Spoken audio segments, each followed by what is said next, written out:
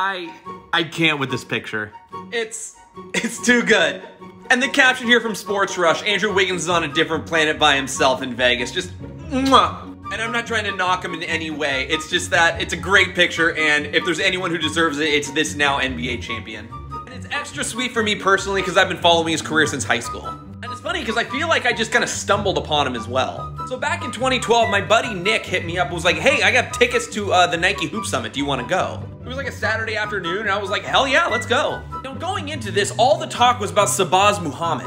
And to be fair, he had a phenomenal game, putting up 35 points. But another person who caught the eye of everybody there was a Canadian by the name of Andrew Wiggins. So it's been fun because my buddy Nick and I have been able to keep tabs on him pretty much since then, all the way up through college, being the number one overall draft pick, and now NBA champion with an absolutely iconic celebration picture. Congratulations to you, Andrew Wiggins.